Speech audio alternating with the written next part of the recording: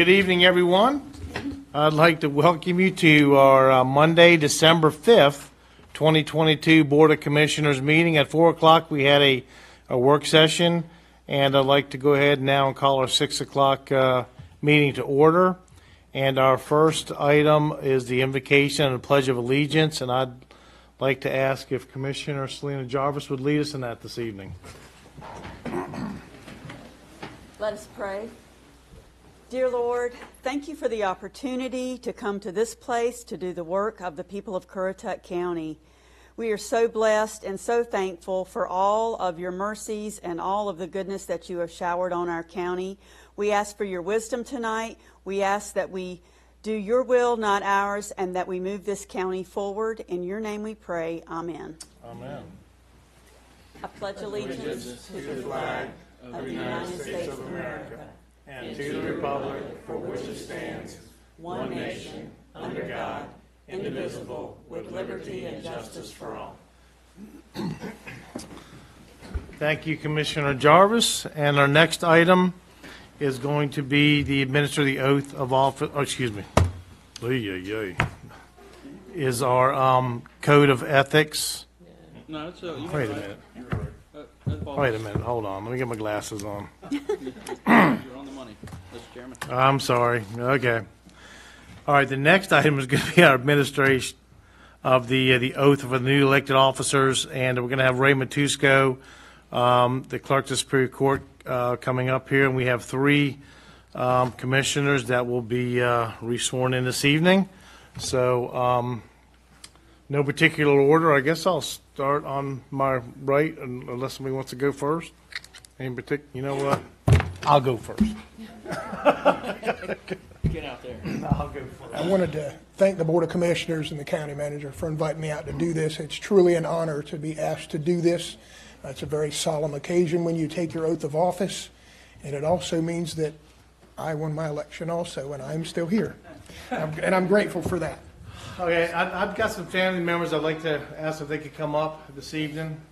Um, I have my, my uh, wife, Judy, daughter Heather, son-in-law Clinton, and my two grandkids, Clinton and Evelyn. Come on up here and help me with this this evening. Come on up here. Rumor has it that it's a very special lady's birthday today also. Yeah, and what I'd like to announce everybody today is just, you know, just not, bring my wife over here. This is my wife Judy. Today is also her birthday, so we're celebrating that as well, so Happy birthday to you. Happy birthday to you. Happy birthday, dear Judy. Happy birthday to you. All right. I'm gonna ask if, um, if Evelyn CT, you hold the Bible for me while you get sworn in here. Yeah, You know, put your hand up there. if you'll put And your, We're gonna be doing a little bit of reading and repeating some stuff, so. Okay, if you'll put your left hand on the Bible and raise your right hand.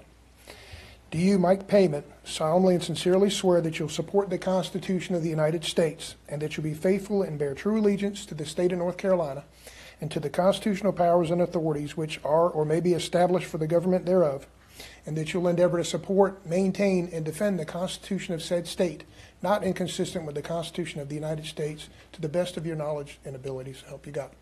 I do. And do you, Mike Payment, further solemnly swear that you will and truly execute the duties of the office of Currituck County Commissioner according to the best of your skill and ability and according to law, so help you God? Congratulations, sir.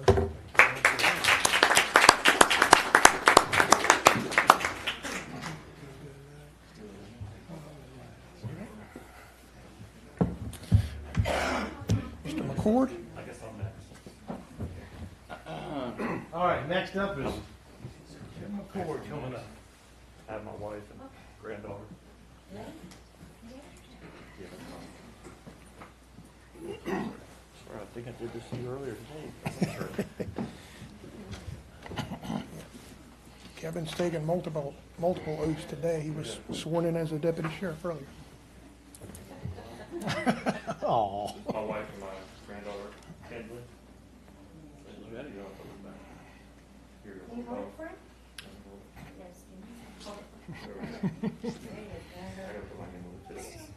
Sharon. All right. If you'll raise your right hand.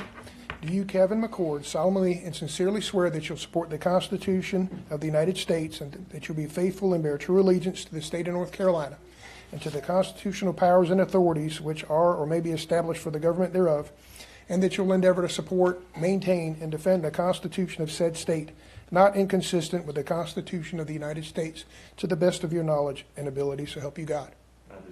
And do you, Kevin McCord, further solemnly swear that you'll well and truly execute the duties of the office of Currituck County Commissioner according to the best of your skill and ability and according to law, so help you God? Congratulations.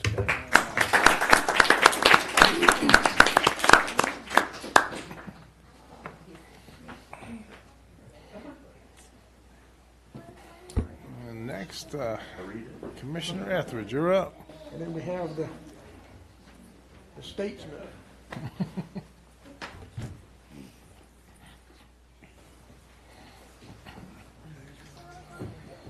Oh, she's got one, okay.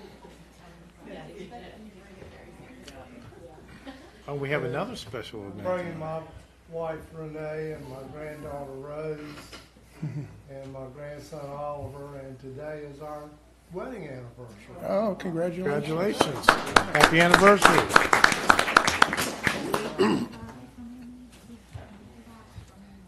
anniversary. All right.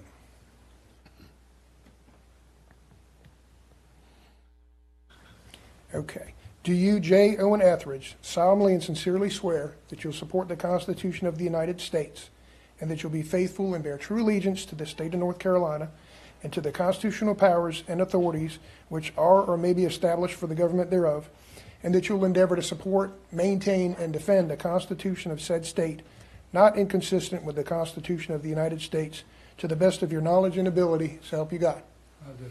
And do you, J. Owen Etheridge, further solemnly swear that you will well and truly execute the duties of the office of Currituck County Commissioner according to the best of your skill and ability and according to law, so help you God? I do. Congratulations, sir.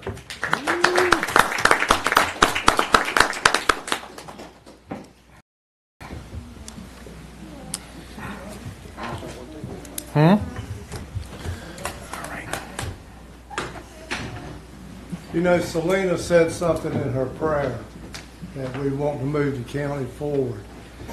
And uh, I've done this a few times, and every time I've done it, I've always had my children or my grandchildren because it's their future that we're dealing with.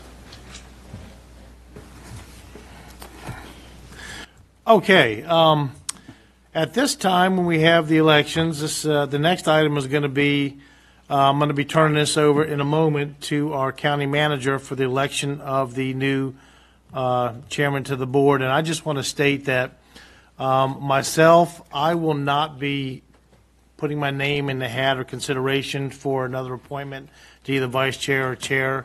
I've been in this seat or the vice chair seat for almost six years, and I'm going to be uh, just taking a little break from it. I'm going to pass it on to someone else to have the the good um, fun of, of doing the chair and vice chair. So um, at this time, I'm going to go ahead and turn it over to our county manager for the election of our board chairman. Uh, Mr. Chairman, the statutes require that the first Monday in December of of of an even-numbered year, the Board of Commissioners shall choose a chair and a vice chair. We've arrived at the time now for the board to select its chairman for the coming year. Are there any nominations for chairman? I'd like to nominate uh, Bob White for the chair. Second. The nomination of Bob White has been made and seconded. Are any- any other nominations? If not, uh, then nominations are closed. All in favor of Commissioner White for chairman, please indicate by saying aye. Aye. All opposed, no. The ayes have it. Thank you, sir. Um, And uh, at this time, I will uh, open the floor for uh, the vice chair position. Do we have uh, a nomination for that position? Mr. White, Mr. Chairman, it's my honor and privilege to nominate my colleague and my friend Selena Jarvis to serve as the vice chair of the board. Ms. Jarvis has served since 2019, and she's been a wonderful asset to our board. Thank you. Do we have a second? I'll second it. Thank you. Any other nominations for the position? Seeing none, I will close it and ask for a favor. All in favor? Aye. All right, and at this time, we'll recess for about 10 minutes to reset the board, shuffle around for a minute, and uh, then we'll call the meeting back to order. Thank you.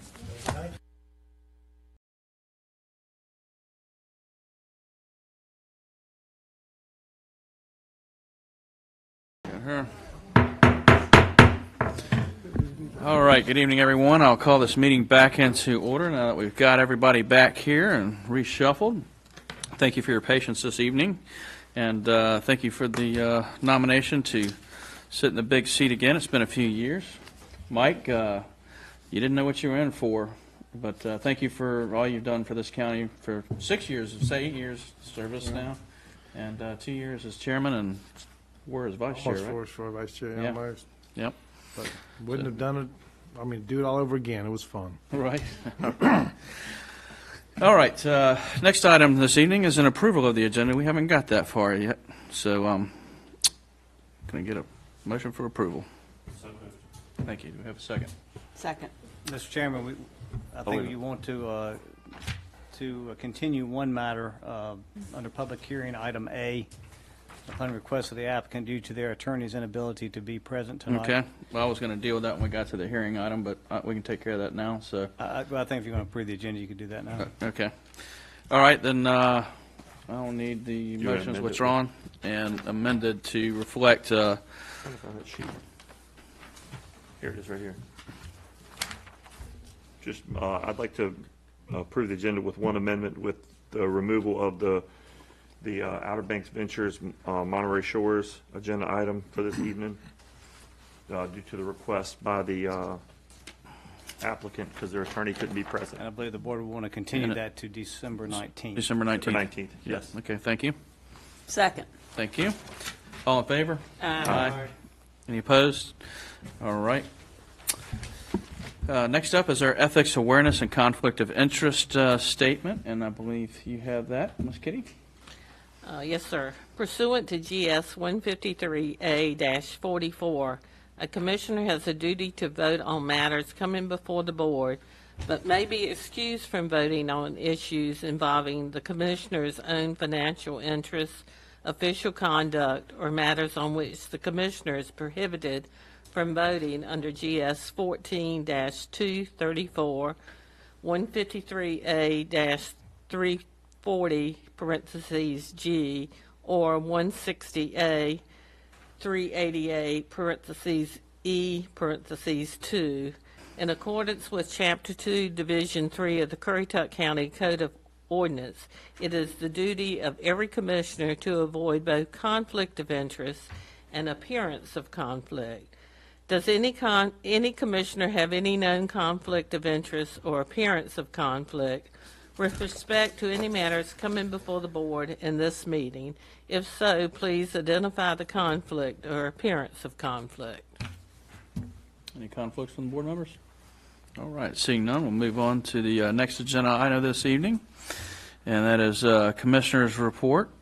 I'll kick that off this evening. Um, I've already thanked Mike, I will again. Do we have public comment? Pub- Yep, thank you. Little, little rusty. Thank you, Mr. Mr. Former Chairman. All right, up next, public comments. Uh, We have Ms. Barbara Snowden signed up this evening.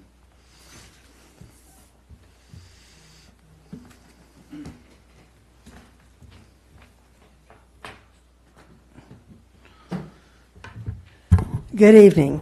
My name is Barbara Snowden, and I live at 154 Courthouse Road. Chair, Mr. Chairman, Commissioners, congratulations. It's nice to see a female as our uh, second in command in this county, and I acknowledge that. That will be a record say a record-breaking thing that we can record in our history. The reason I'm here tonight is for really two reasons. First thing, before I start to talk about that, I would like to publicly thank uh, Samantha Evans for doing the courthouse, decorating the courthouse for us this year, and it looks very nice. The thing I'm here to tell you about is have you looked outside lately? You look at the white fence here behind you, you look at the white building on the other side, and if you check zoning regulations, That's about as much, as much land as you can build a house on here in Currituck County. Well, 300 years this year, that property was turned over to the County of Currituck for the purpose of establishing a county seat. That property has been in the hands of the county for 300 years. Uh, some things have changed for the better, and some things have changed for the worst. Next year, the commission, the signing of an actual contract to build the courthouse will be 300 years old. They started building a courthouse on this exact site 300 years March of next year. It was completed in March of the following year. Now, I have not received any instructions from you, even though I've discussed it with the county uh, manager, when y'all want to celebrate having a 300 year old courthouse. There are not very many courthouses that can say that. Um, it's not this actual building. There have been three courthouses built on this site, but it was somewhere in this area because this has been the only property that Currituck has ever owned for the point of a courthouse. So I'm waiting for your marching orders and what y'all are going to do to march th- mark this celebration. The second thing I need to talk to you about is another celebration. We're coming up on the 250th anniversary and celebrating the formation of this country. North Carolina will start celebrating not in 26 when you think of the Declaration of Independence, but North Carolina will start the celebration in 2024. There is a planning committee called uh, North Carolina American 250, and they have started making plans for what they're going to ask each county to do. I'm sitting here looking at two things that you may not realize came out of the bicentennial, but in the bicentennial, they ask each county to develop a seal. That's where you got your county seal from. This Historical Society designed it borrowing a little artwork from another person, putting some circles and date on it, and submitted it, and it became the seal. The flag, they asked us all to design a flag for each of the hundred counties. That is the flag that you're using today. I have no idea what they're going to ask us to do this time. But I do want you to know that you can go to the website and you will see the themes that they are emphasizing and you can see what they have started planning to do for North Carolina. As a part of that, I have invited a young lady by the name of Lorraine Umflett. She is a published author uh, of a number of books, but she is on the planning committee for the 250th, North Carolina 250th. And she will be speaking Monday night at 7 o'clock at the Barco Library. I figured we better get a head, little bit of a head start on everybody else and see if we can start planning a little bit early. Uh, Lorraine is a very good speaker, and I think you will enjoy hearing what the 250th Planning Committee has done. And I also think you'll enjoy her topic. The topic of her speech will be North Carolina revolutionary before it was the thing to be. That will be at 7 o'clock at the Barco Library, and each one of you are invited. And I, as I said, I wait your instructions on which of those three years you want to celebrate this courthouse. Thank you. Thank you. Barbara, can I ask you a question? Is there any known depiction of what the original courthouses looked like? We have uh, a, a description, an architectural description. It was made out of cedar. It was 18 by 20 feet. It was to be an open room with stairs going up and pillars underneath it, and it was to have a judge's bench for the justices of the peace to sit at, and benches on the side to uh, to for people to come in and sit. Now, I've I've contacted I contacted a number of years ago um, a man in Colonial Williamsburg who is the authority on courthouses, and I asked him if he could give me a drawing of what he thought the courthouse looked like. And he said he did not really think there was enough um, information in the contract to say absolutely, but he said it was a one-story building. It had uh, at least two windows, a front door, and you came in directly and turned and went into the court area. And it was made out of uh, good cypress wood was the instructions, but the the contractor did not follow the instructions exactly, and he got sued. And Mrs. Umflett will be coming back in two years to talk about that court case because she's a descendant of Robert Payton, who was the contractor who the, the justice of the peace justice of the peace sued for not building the courthouse exactly correct. I have a, as I said, I do have a pencil sketch, but I'm not going to stand on the authenticity of that sketch being exactly correct. Does that answer your question? Yeah, it'd be interesting to see it. Any other questions? Thank you very much. Thank you. All right, I have no one else signed up for public comment this evening. Is there anyone else that would like to speak that did not sign up? All right, seeing no one, I will uh, close the public comments. Now we'll move on to uh, Commissioner report. I'll try again. Um, Once again, Mike, thanks for, uh, for the last couple of years. It's, uh, it's a, it's a lot of work. A lot of people don't know that, know that or realize it until you get into it and realize what you signed up for was not what you thought it was. And uh, so it's a lot of work to do. So thank you again for that. Um, thank you to the Board of Commissioners again for trusting me uh, in this position, and uh, and to Ms. Selena for uh, stepping up to the plate and moving into the vice chair position. Um, as Kitty said uh, and articulated very well, I think she'll make a great uh, vice chair and hopefully in the very near future uh, chair this this board of commissioners for this county. And uh, we just have to talk her into it, making it a reality someday. Um, the board of commissioners uh, just finished uh, two work sessions this evening, and one of them is near and dear to my heart. The first item on our, our work session was we're calling it a community calendar, but it's it's a website dedicated to um, Currituck County mainland businesses. The Outer Banks is is well covered through our visitor center, and so we're working through that now.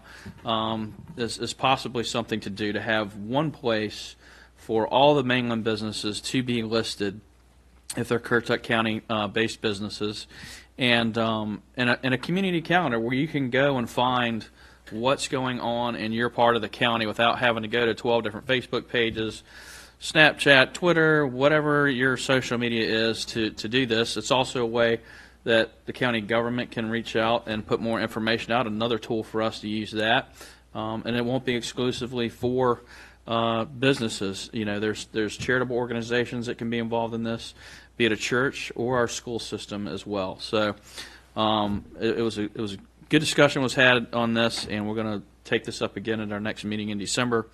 And so um, I just wanted to put that out there that, that we are thinking about it. We caught some flack when we decided not to do um, economic development and move forward, and, and this was in the back of our thought process at that time, and we are now moving forward um, through this process of what economic development or some of the tools that may be available for businesses looks like in the future of this county. Um, the other one was uh, fire readiness, and we're going to have more discussion on that in the coming weeks. Um, just uh, looking to the future. I think Owen said it earlier. The the kids are our future, and we have to provide for them and make sure that we've set them on a good path.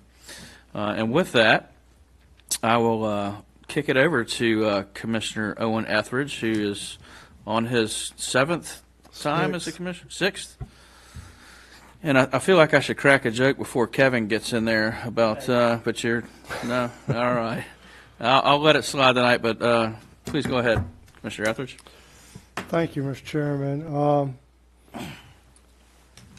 I attended the North Carolina Association of County Commissioners Legislative Goal Conference three weeks ago, and there are some goals in there that, if they can be realized, will be a bit, big benefit to Currituck County and our citizens.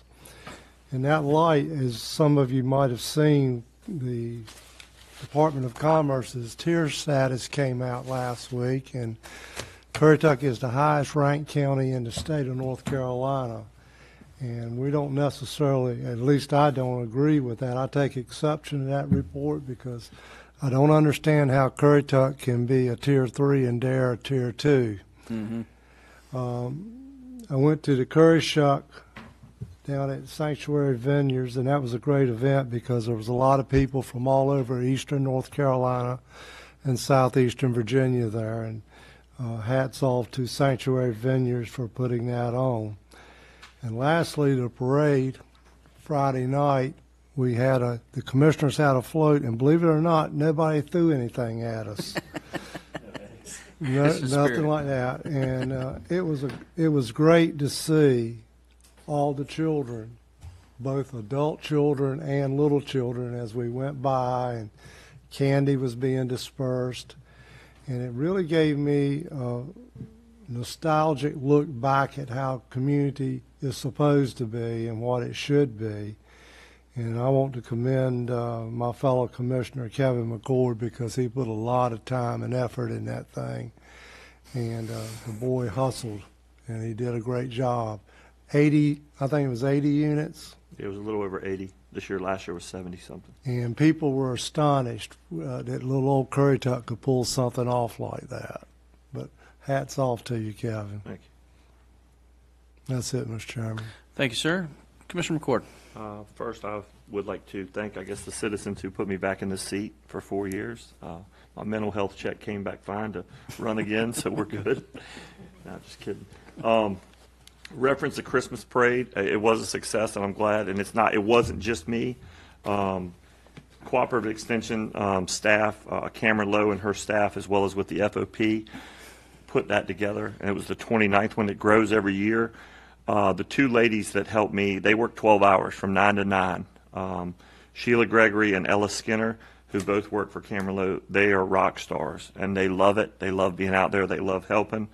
Uh, they did really, really good.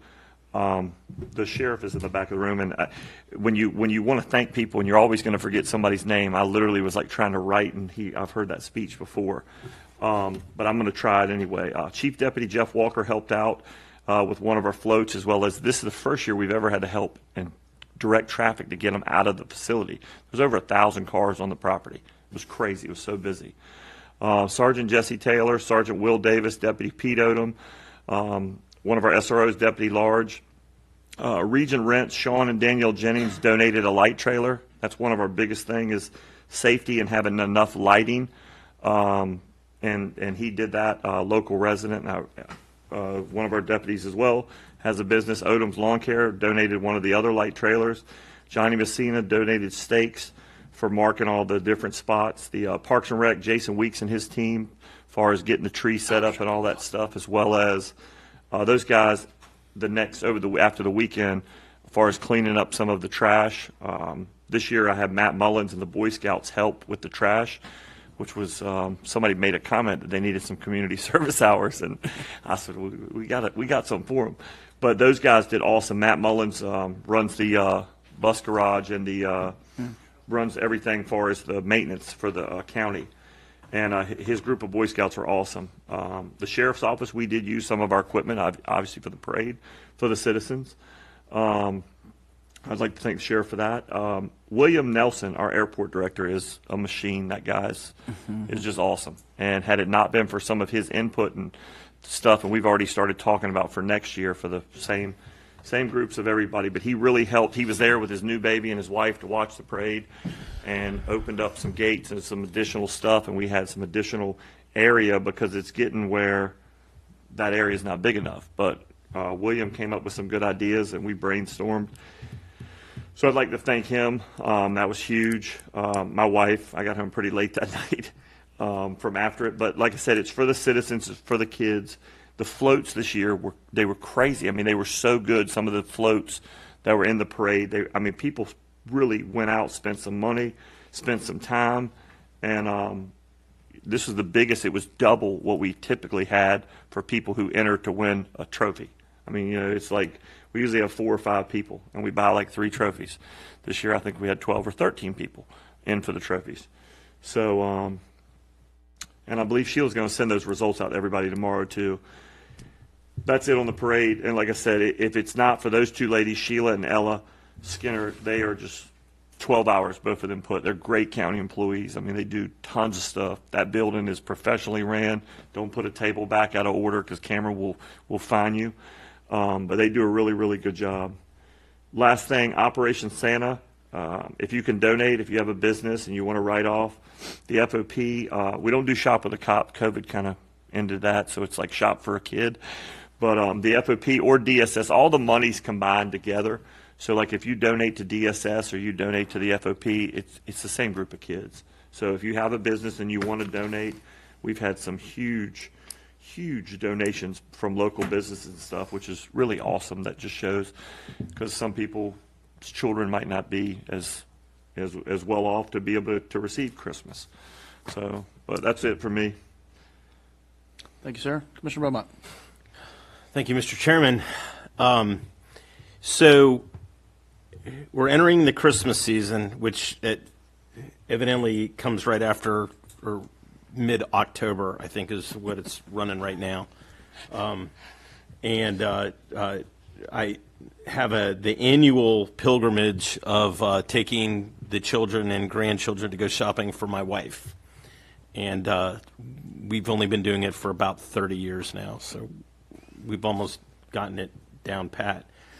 Um, it is crazy out there right now, and it's it's crazy from a parking perspective. It's crazy from the way people are driving. It you know, I couple a couple of things right, and this also kind of touches on uh, the death of of uh, Will Craddock.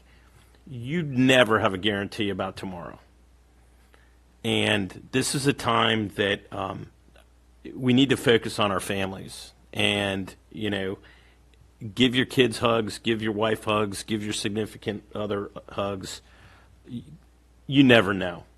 And uh, um, along those lines um, I, I work for a defense contractor and our entity on base navy norfolk just had its fourth suicide in about the last six weeks.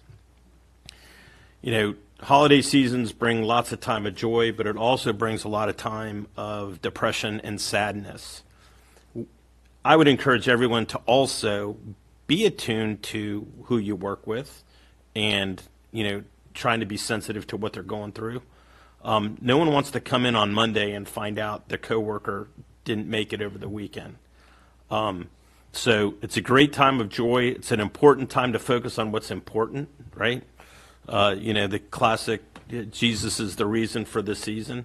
You know, keep that in perspective. It's not about what's bigger, what's flashier, what's whatever. You know, family, what's important. That's all I have, Mr. Chairman. Thank you, sir.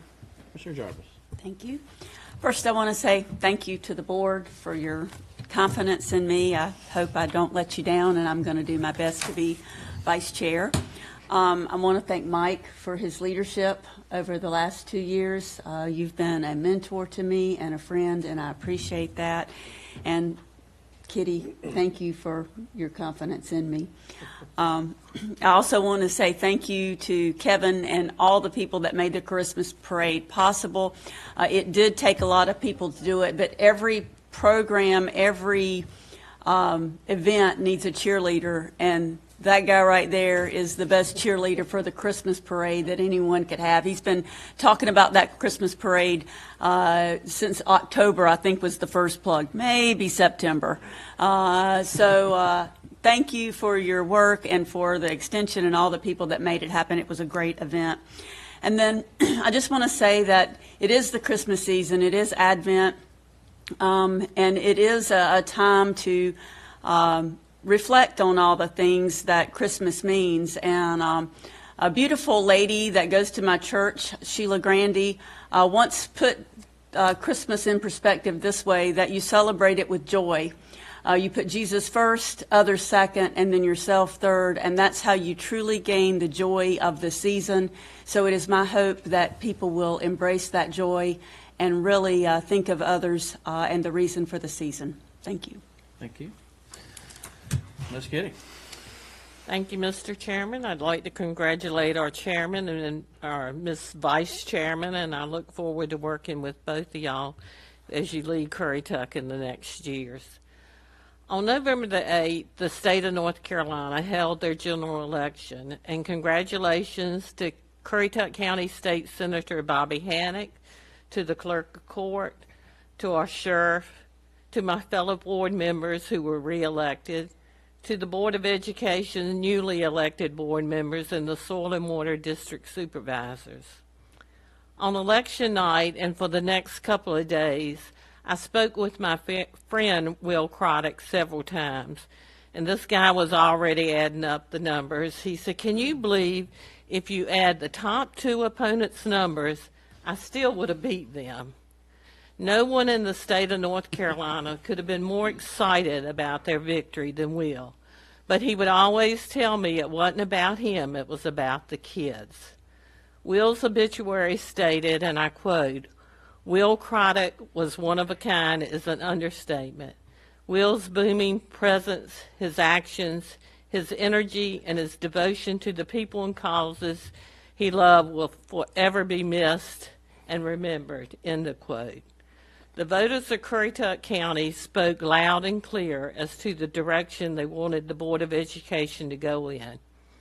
December the 23rd will be Will Croddick's birthday.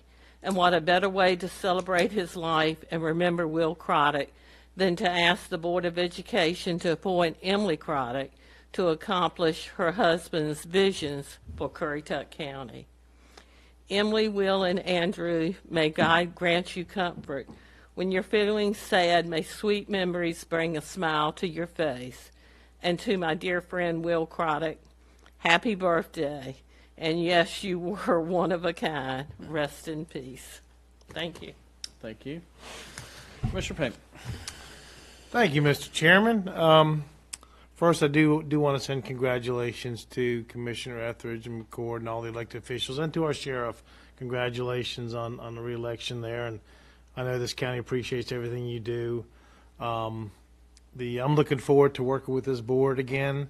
Um, We got a lot of things to work on. We've, we've worked on a lot of hard issues and, and um, come together and, you know, even we disagreed on certain things, we still worked through it and we made our decisions and voted and, and moved on with it. And I thank y'all for, for um, working like that as a team together. I do want to congratulate uh, Uh, Chairman White now, and I'm really excited and proud to see uh, Commissioner Jarvis stepping up to the vice chair position there. It's exciting times in Currituck.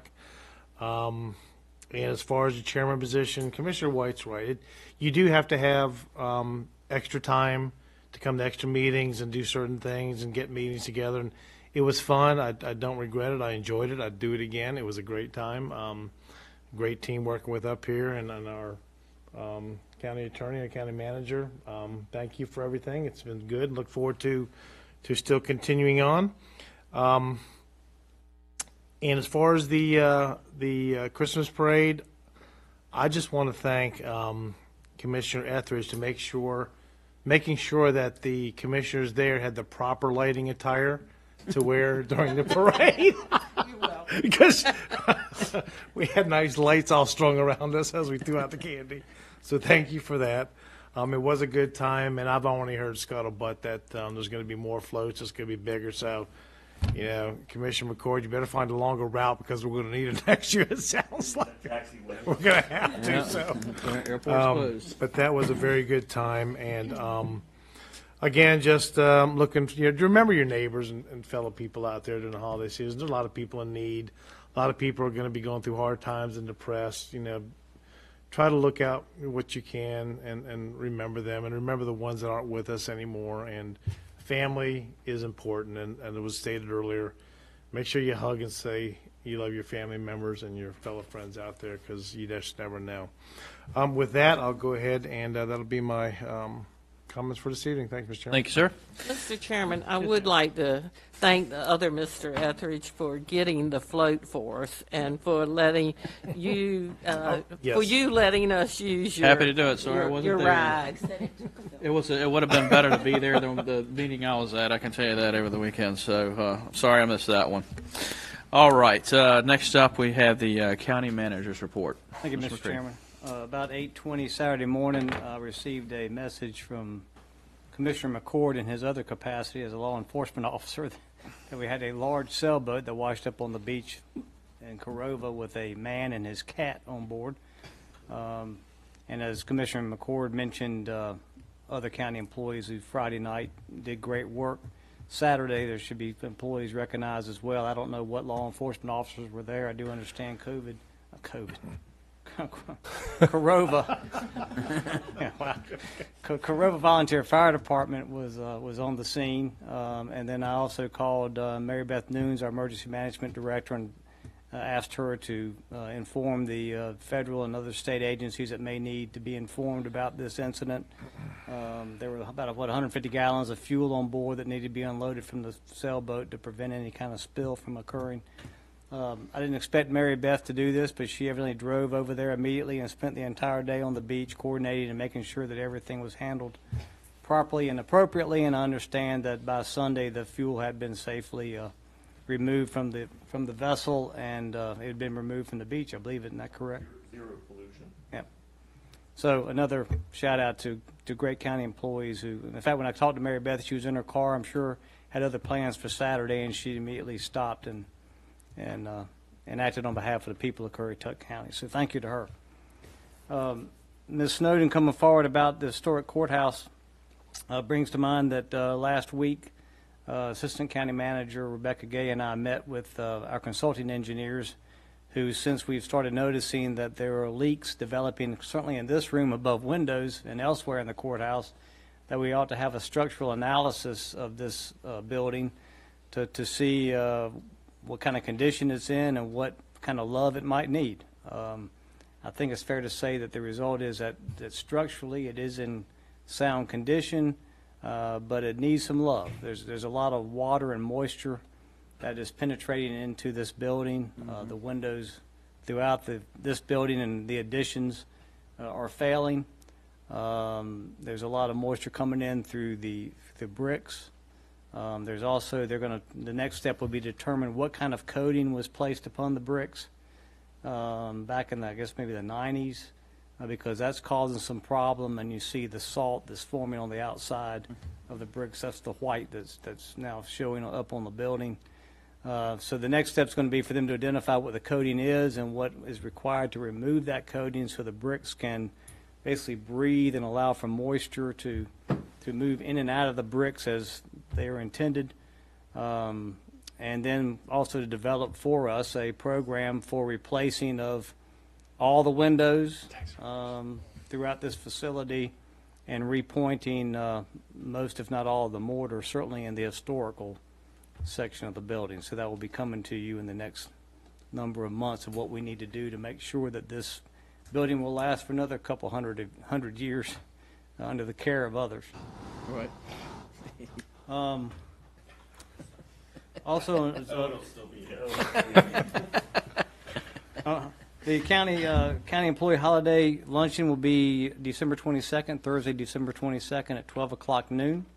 Um, It has been the tradition in the past that the Board of Commissioners has granted employees the re- remainder of the day after that event, and so I've asked uh, for you to give me direction as to whether you will consider, continue uh, that practice. And then secondly, um, there, I guess there's been some talk about whether to cancel uh, um, um, the January 3rd meeting. Uh, There are effectively four, uh, I guess, business days, the way that Christmas falls this year, to be able to prepare an agenda package and get it to you all for a January 3rd meeting. So I understand there may be some consideration that we uh, would cancel the January 3rd meeting, which is a day after New Year's Day when the offices are closed. Um, But uh, again, I look to the board for direction as to what your pleasure is. All right, so we got two things we need to do with the uh, January 3rd meeting. Is there any opposition to canceling that meeting? We don't have much on the, on the books for that. All right, An agreement. I think we're good Take there. that as a consensus? All right, Second. all in favor? Aye. Uh, All right, and then uh, the employee luncheon, you just need a general consensus on that, right? Yes. So does anyone have any problem with continuing our normal process of allowing the staff to leave after the employee luncheon? Absolutely not. Not a bit. I We're good there. Thank you. That's all I have, Mr. Chairman. Thank you, sir. All right, county attorney's report. Yes, thank you, Mr. Chairman. Depositions are being held this week in the campground, the federal case. by the campgrounds attorney. He is deposing all county employees that were involved with that case. So those are taking place every day, Monday through Friday over the extension. And I am accompanying Nick Herman, who is our outside counsel for that case, um, for each of those depositions. And then also, one more thing, the, we're having a Board of Adjustment meeting this Thursday. The variance application that was going to be heard the last meeting got continued to this Thursday. So hopefully, we will finally hear that case. Okay, That's all. Thank you. All right. Next item is uh, administrative reports. Item A, United States Air Force Cycling Team Memorial to Memorial inaugural event. We have Chief Master Sergeant Jack McCombs, uh, U.S. Air Force retired, here to present to us.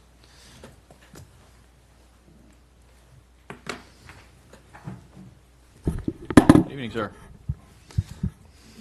Uh, Mr. Chairman and fellow commissioners, it's a joy for me, literally, to be here. Uh, I live in Kill Devil Hills. I've done that since 1997. I spent uh, many years overseas and multiple places in the United States. When I knew I was going to retire from my second job, I started tour- uh, touring the east coast of the United States and decided I wanted to live in North Carolina. And I've never regretted that. Um, You're up. Uh, late last year, uh, I learned that the Air Force cycling team was proposing to make a big bicycle ride from the Wright Memorial in Kill Devil Hills to the U.S. Air Force Memorial in Arlington, Virginia. And I held up my hand and said, uh, if you need some local help, I'd be happy to do that because I ride a bicycle. I started as a young man of 65 in 2005, and I've ridden about 45,000 miles, mostly in Dare County and Currituck County. I have ridden on 158 many, many times. Uh, they were happy to, to have somebody with local knowledge and also an experienced cyclist. Uh, so I started to contact various uh, jurisdictions, uh, starting with the Park Service and Kill Devil Hills, Kitty Hawk, Currituck County. Commissioner Lieutenant McCord uh, was my point of contact here, and the city of Chesapeake. Uh, the cycling team was formed in 1995.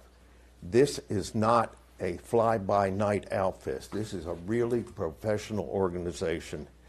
And you can check their, I have their website there, and they have a really nice uh, uh, history, where they ride at, why they ride. Generally, it's a fundraiser.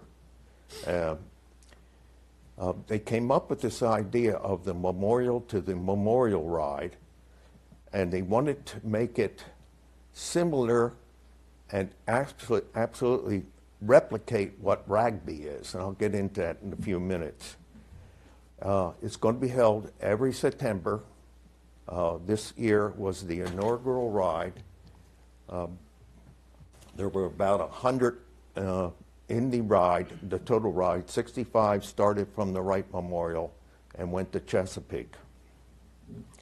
They raised about $10,000 for the Wounded uh, Airmen program. We have a lot of uh, airmen that have been injured, uh, as well as their families, too, since these perpetual wars that we have been in since 2001. Um, my first contact, as I said, was uh, with Lieutenant McCord, and the guy, that, the action officer, was Corporal Tom Vorius, uh, sitting back here, and I'm going to pull him up here in a, in a minute or so. He, like me, is a career military person.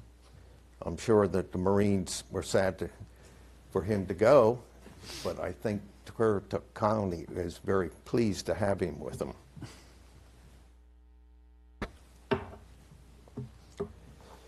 Uh, 2023, it's going to be held between 7 and 10 September. 7th September is when they'll be coming through uh, Currituck County. And they're going to open it to cyclists, both military and non-military. It's going to be uh, patterned after RAGBRAI, and I'm going to get into a few details like uh, what RAGBRAI's about. Uh, RAGBRAI is the oldest, largest, and longest multi-day cycling event in the world. Uh, it gets tremendous media coverage, uh, all types of media, and has a large number of celebrities that join into the, uh, the ride. They have over 20,000 cyclists participating in this, and they ride across Ohio over eight days. They only allow 8,500 to ride the whole eight days. Uh, the rest of them are allowed to ride one, two, or three uh, days. Um, now, this is where it gets interesting. The state of Iowa gains about $25 million in revenue, economic improvement. Uh, the start location in each overnight location is three to five million dollars. Now, M2M planning, uh, we have to work very closely for all the jurisdictions that lie between the Wright Memorial and Arlington, Virginia. Um, we have to learn how to, together, each of these jurisdictions and M2M man, uh, management, how to safely uh, manage this number of cyclists on the public roads.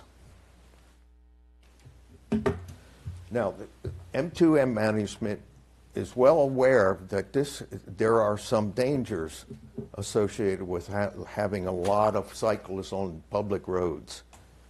So they're very deliberately damping down the number of people that they'll allow, they'll allow to ride. Uh,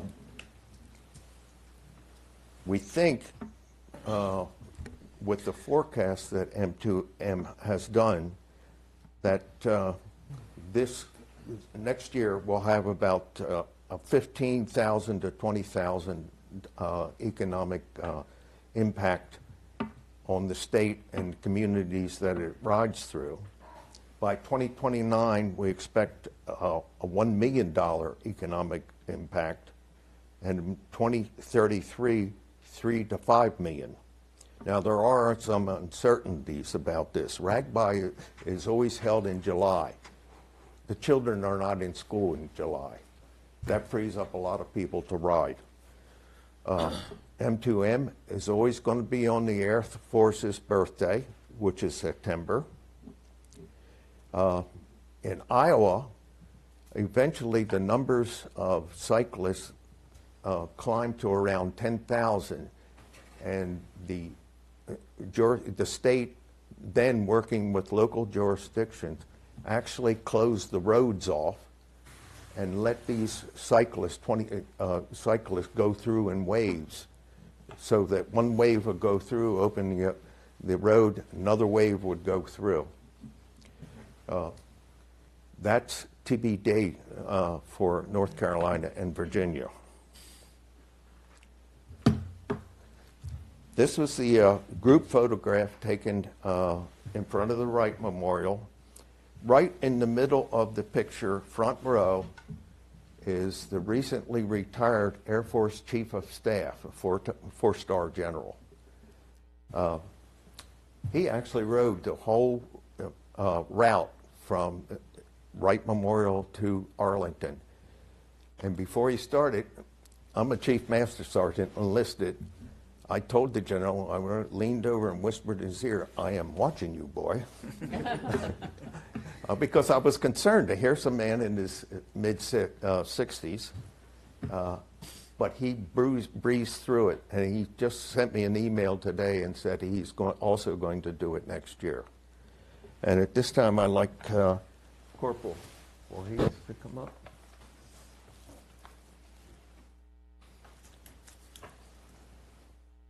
This is a photograph of the group, and I'm hoping long after we've already, we've left the stage, this photograph will be displayed, displayed in the uh, sheriff's office. Uh, Corporal, he personally escorted the small group that, including the uh, chief of staff, throughout uh, Currituck County. Thank you so much, Corporal. So, keep in touch with you, okay? Thank you very much, and Merry Christmas to you all. Thank you. All right, uh, next item is uh, item B, presentation of the curbside collection survey results, and uh, I guess we'll have Ms. Rebecca back in front of us again. Yes, sir. All right, so staff came to you back in September and made a recommendation to move toward curbside collection within Moyock uh, to address the high volume of traffic that we're seeing in the Moyock convenience site. And you all directed staff then to conduct a survey within the Moyock Township, with the exception of Gibbs Woods, to gauge interest of citizens in curbside collection. Um, We have received the results of that survey, and we had a wonderful response. Um, we, we sent out a postcard mailer to uh, just shy of 4,000 households, and we received a total of 1,017 responses. Um, we determined that there were 919 valid surveys, so we had a response rate of about 26%, which we were very pleased with. Uh, some, some were duplicates, some were commercial uh, entities that, that we had to remove, and some were respondents outside of the survey area. Um, so we asked how uh, members of the community currently dispose of their household trash and recycling. And you can see results here. We were actually surprised that so many folks are already using curbside collection within that community. Um, we also asked how satisfied folks are with the existing convenience site and found that almost 75% said that they were satisfied essentially with the service that they're currently receiving. Um, overwhelmingly, Bay Disposal is the service provider within Moyock Township.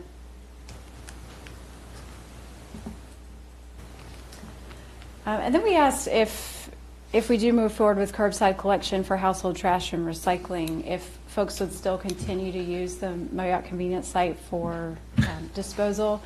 And I'm not sure if this is a, a totally accurate response to these questions. I'm not sure if folks were saying that they would continue to uh, drop off vegetative waste or, or bulk waste. This, this seems high, so um, this was an interesting response at, at 571. Uh, over half of the respondents said that they would still continue to use the convenience site. I'd- Well, I mean, I would think that because, I mean, you still got a lot of bulk items. Yeah, I, I still do. In Corolla, I still take my stuff up to Corolla once in a Right, while. we would Yeah. expect that. We would expect Yeah, that, but the I- question was specifically for trash and, and recycling. Well, some people might not distinguish. I, I think that's probably what Trash is happened. trash. Yeah. Right, bulk items, would you Right. still continue? Right. I, I think that's what happened.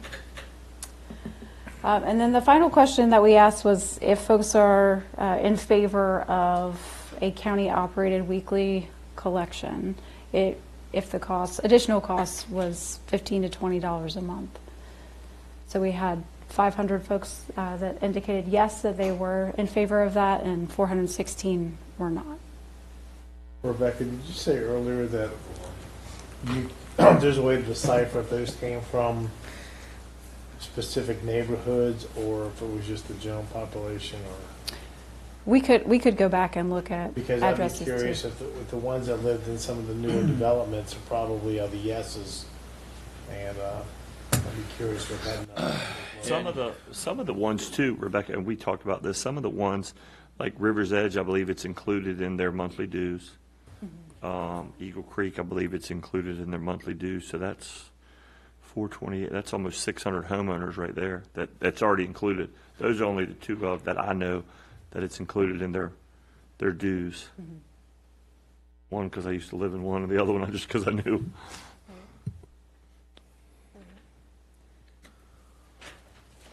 So staff's recommendation is still uh, to, to move forward with curbside collection within Moyock Township as a pilot program, but we'll look to the board for direction. So if we do this, uh, if we didn't do this, there was still going to be an additional cost to deal with the, the convenience sites, right? I mean, we were looking at significant infrastructure improvements at one or two of those sites as it is, right? That's correct, And yes. there was going to be a, a cost, uh, it was still going to raise rates. Do you remember what you told us it was off the top? Like, we didn't really have a defined number at that point, right? It was just an Uh, estimate of repairs. I don't think we would, several years ago, we received an estimate, I think in the $3 million range to mm-hmm. expand the Moyock To convenience site. expand the, one at Panther Landing, and then, of course, as Moyock has grown, it, it- I think the county would need to be looking for another site on the other side of, western side of Moyock, most likely, for the development of a similar convenience center if we stay with that system. Right at the new school.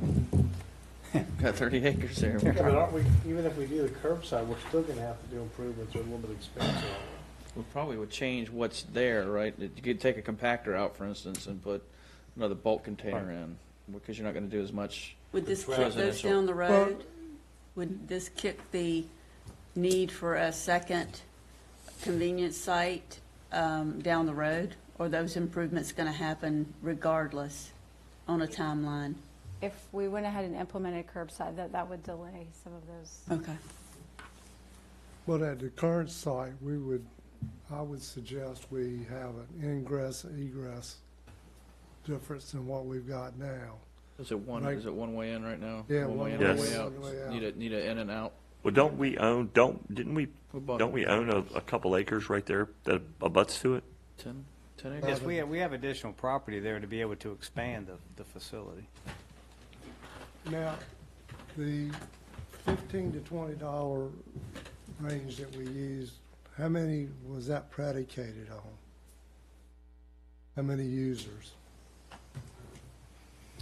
Uh, I think that was just a general estimate and the additional cost. Uh, Well, let's see, I'm trying to think back. If there was a difference between when we looked at the entire Moayak Township or just a smaller area. Would it be from like Guinea Road north or something? Because I have a Moyock zip code, but I live in Crawford. Right, that's right. It would come down to Which I, I do pay for the, Bridge. Have we, kind of addressing the amount of room that's at Panther Landing, and kind of a different approach to get rid of the compactors and add bulk? I'm curious if, one of the largest detractors of using our bulk, whatever dump off to me, is you got until noon on Saturday and it's not open on Sunday at all. Zipping on Sunday. I don't, no, it's just No. Saturday till noon. So if you've got bulk, I mean, and it's, it's about as easy as it gets, backing up, shoving it out of the truck, and then Oh, I driving away. I agree. I suggested I- that, yeah. I'm curious if that's another aspect of the solution, right? Is to expand the hours there because it's typically, I think, two people working there at the same time, i- if not just one, and they, they're driving a backhoe and basically clearing the deck. Let me just tell you one thing about that deck, though. It's a nasty. Yeah, damn I thing. would. I every time you walk in that thing with your shoes, just get if you got carpet or something in your, that stink will stay with you for. I don't Ever. even want to get out of that place and and walk and shove it. I mean, I know what you're saying, but I stay away from. I dump it as far as I can. and let the compactor push it because we had talked about one time are we doing something up there because walking on that platform. Well, that- is- is Well, awful. but, Yeah. but that, okay, but hosing it off, you know, every hour, uh, all I'm saying is, you know, you can get rid of a lot of material awfully fast there and That's a that's another just another issue. So Yeah. and I and I brought it up. You know, it at Chesterfield when I lived up there, we went to one and they had probably six or eight of the um, the larger like the recycling size cans that they haul steel off in. That was you you drove up to it and you threw your stuff down into it, right? And it wasn't a tipping floor. It was for residential disposal. Convenience So you came site. in, yeah. And, you know, the, the, the trash side of it, they actually had dumpsters set up for regular residential household trash, but your bulk items, you backed up to a guardrail, threw your stuff down in a container, and they could just pull it off, when it was already on the back of a, a, a you know, a ten-wheeler or whatever. So that's something that would be, amazing to have, um, but you gotta, you gotta bring in a lot of dirt. You gotta completely rearrange the site. Um, it's probably easier to do over at the Maple Transfer Station for sure. Well, it's already set up that way. Well, it, but the tipping floor doesn't work. You need another area for residential bulk disposal there of that type, if that's what you want to offer. The, the, some of the biggest challenges at the convenience sites, typically to me, it is the bulk. The bulk fills up. Yeah. And they you know and they're stuck. They can't get it out of there. You know, they're waiting on the trucks to come in and, Right. and haul it out of there.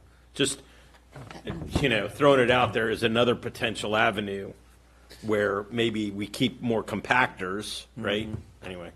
Um, Oh, and back in um, September on the 19th, when we had our work session, um, the number they gave us was um, right at 3,500, and the cost would be $19 per month for each of those.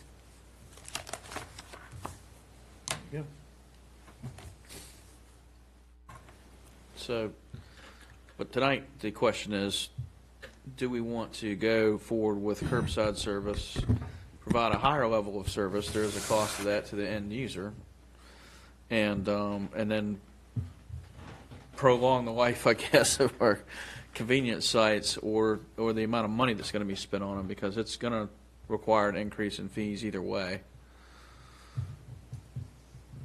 Well, the only thing about going to curbside service, I've had some people, quite a few people tell me they were not going to pay it.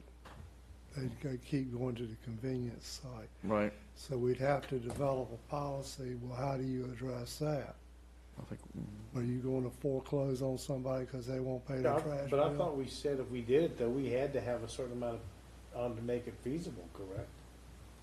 Am I wrong with that? You can't just have two hundred people doing it.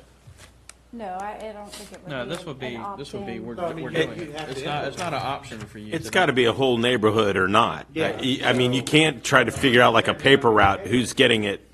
You're out of Eagle Creek because they've got a- like a five-year contract. And they just recently signed. That's include, that is including their H, and River's Edge, which that's not in the, the part of it, but yeah, like I said, how, I mean, does that, we didn't factor the Eagle Creek in, correct? They were included They were within the included in it. survey, yeah. See, you would, you won't have a trash company won't come in unless they're guaranteed a certain amount of business. Correct? I Well, mean, the- We would have to competitively bid the contract. Right. And it may be the same provider that's providing for Eagle Creek, and then it becomes a moot point. Exactly. You know, they, they just change their fee structure internally in the neighborhood, and someone else is picking up, the, the same person's picking up the trash, they don't notice a difference one way or the other. So that it's not gonna be without its, uh, pitfalls the first, Yeah, you're gonna have to develop the policies up front. yeah. And know what. I we're would think do. so. But just, you can't decide you're not going to pay uh, the fire tax that's embedded in our taxes. You can't decide you're not going to pay uh, your tax for anything else. With the cost of fuel, if it was eighteen or nineteen dollars a month, you're gonna spend that if you live off a backwoods road to ride to the wayside easily in a couple trips. I mean, I'm just saying, I, I understand somebody on a fixed budget or whatever, that could be, but like you said. If you're doing that a couple times a week, If you go to every the dump once a week, I mean, Yeah. four times a month, you're gonna spend six dollars in fuel. Yeah, but what, what now, what some people have already told me is, look, our, our uh, tax, or our trash fees have already went up uh, on our tax bill, and I'm already paying it. Why have I got to pay more now for curbside? It- it- They said it should be included for the fee I'm paying. Well, the costs are going up. Well, They well, keep going their up. fees Yeah, gonna but, go but up see, again. I- Diesel me and fuel's Grandy, five I won't be bucks. paying that additional fee for curbside pickup. Right. But the other folks will be paying the same on their tax bill plus an additional. Well, they're getting a curbside. higher level of service, no different than I do in Whalehead. I have pickup curbside. I pay for rollout service there because the tourists don't take it ta- take it out, but um, they're they're getting a higher level of service than you do unless you have you know pick up curbside at your at your house. But that is something you would choose to do individually, right? So at the end of the day, the the whole point of this exercise is that we were going to spend a, a lot of money at our recycle centers, especially at Panther Landing, and fees were still going to have to go up because we can't we can't absorb that that extra infrastructure repair, change, whatever, at our current fee schedule. So either way, it was going up. And that site, remember we changed hours for it because it's so crowded. The amount of trash and debris that's coming out of people's cars driving up down the road hopefully will be lessened. So you've got, there's, there's other factors to it that are actually positives, just, just in that. I mean, I, we've all seen it, stuff blowing out of somebody's truck on the way to wherever. It's just junk blowing out all over the place, especially when they cut the, the ditch along the railroad up there in Moyock. It really comes out. So that's, that's another positive, if you will, of doing something like this. I, I will, and I probably shouldn't say this, but I will say our waste uh, companies are some of our. I mean, but they do have covers o- over top of their things, but they are some. blow out I- left. they They blow blow out out there, left. right. They're just as bad as some of the trucks. No offense to Bay That's, that's Disposal one or truck any of the other versus ones. twenty-five an hour. True, doing, Right? true. So, so anyway, so you need us to give you a thumbs up or down, basically. Ready for some direction? Okay. So, uh, Well, I mean, I I would, I mean, the comment that Commissioner Etheridge had mentioned earlier about policies, I mean, are we, do we want to see some policies maybe written first before we say move forward, or we want to say now and then write the consequences after the fact? oh no, we, we definitely, I think we're going to have to come up with that as part of this whole thing. If we go forward with this, obviously, we're going to have to, we're going to have to have this presented to us for adoption as part of Okay, all so, of it, right? okay, so, so the next step then would be to develop, move forward, develop some criteria and collections and, and rates and all that stuff to bring before us to adopt, is that what you're saying? Well, we, they still have to go out for a bid, so that process is going to take a couple months just to get it, just to get the bids in, And then right? see what the, okay. And we'll know what the, Maybe some, some ordinance, mo- ordinance modifications. Well, we keep growing, we've got to give services, so that's what happens when Right. we, if we only had those one acre lots, that's right. we would be good. We'd be a lot better off than we are today, so, Mr. Chairman. They'd have less stops. Certainly an opinion. All right, Farm equipment moving down the road with trash cans. Create Traffic problems. so what is the board's pleasure? Uh, we're, uh, we're going to need, uh, a motion on this item to, uh, move forward, uh, or not, um, to get staff kicked into gear. You want a motion? If you're willing to make one, fire, tee it Mine's, up. mine's actually for the other way. My motion would be to, uh, to not approve it. Um, hold on, let me grab the sheet.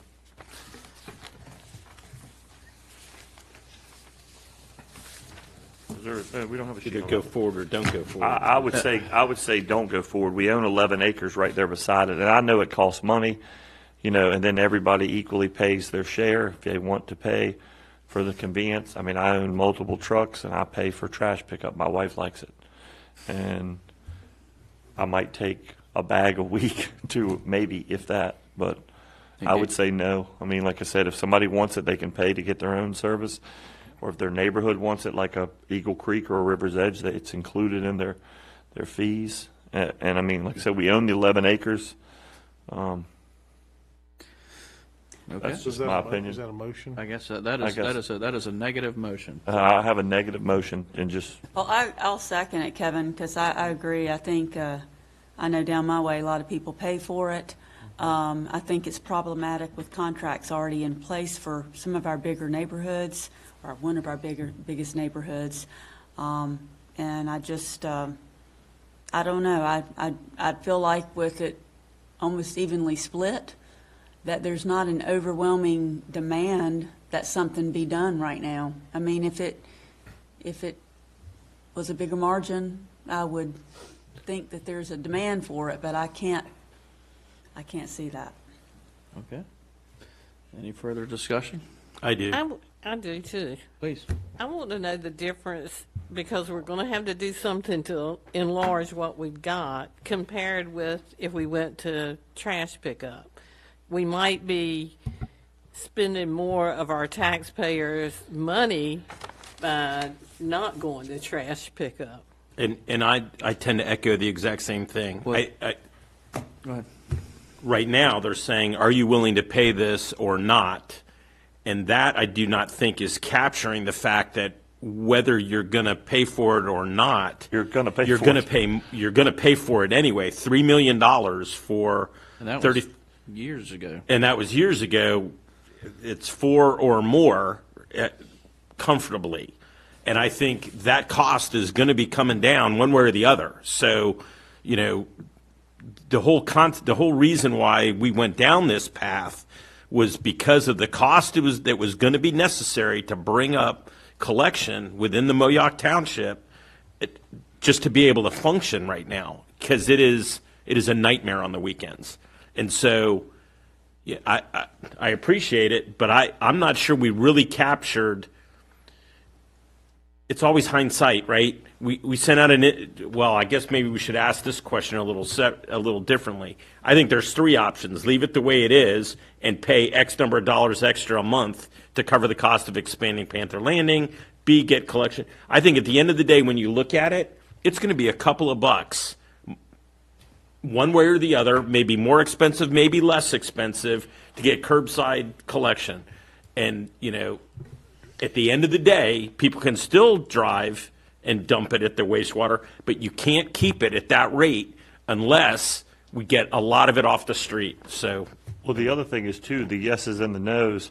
You know, I mean, if the survey was sent out and just say I live in Eagle Creek and I fill the survey out and I said, no, I don't want to pay fifteen to twenty dollars a month more because they're already Think- paying they're for thinking it. that's on top of what They're they're thinking what already they're already paying. I mean, I, I see it that way. I mean, Well, that, that, that begs the next question. Do you currently have a service? You know, this would not be an addition, right? The, the, the whole I'm thing surprised is that kind of that many skewed, people right, right. participated, And which is There could good. be a hundred people in that right there from Eagle Creek that, well, no, I'm not going to pay for that. I'm already paying for it through Eagle Exactly. Creek, right? Or, or any other neighborhood. So it's not even really adequately describing what's going on.